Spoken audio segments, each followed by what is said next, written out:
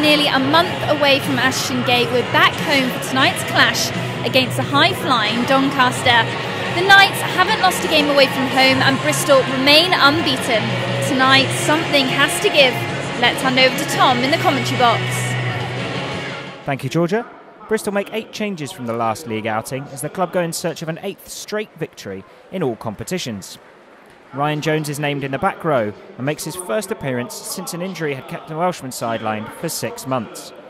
Adrian Jarvis is included at fly half after impressing in the B&I Cup. This will be his first league start of the campaign. And Nicky Robinson is listed among the replacements for the first time this season. Robinson, Evans gets the offload to Crumpton. Crumpton's going to go over the line. Some great offloading work. Evans finds the ball in his hands and pops the ball over the top to Crumpton. Brilliant turnover ball initially from Bristol. Gave them the opportunity to counter attack. Caught Doncaster unawares and Max Crumpton slides over the wet turf for Bristol's first score of the night. So Doncaster with another penalty opportunity. The rain really driving down here now. It's another three points for Doncaster. All 12 of their points so far tonight coming from the kicking tee. That puts them ahead for the first time during the game since that first penalty went over. Bristol now trailing by two points with about 10 minutes and a half to go.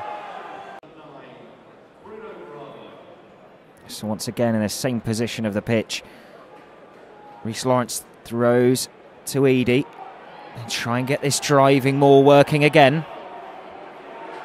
Crabs right slightly and then they start pushing. They really start pushing. Bristol look to have crossed the line. And they're held back just short.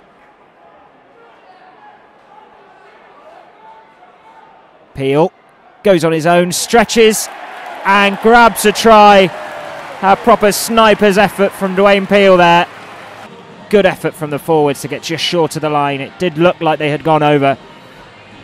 But Peel snipes through the Doncaster defence to dock down for Bristol's second try and put Bristol back in front.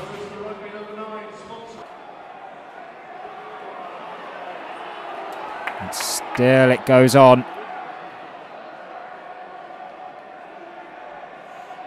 And the referee holds an arm out for advantage.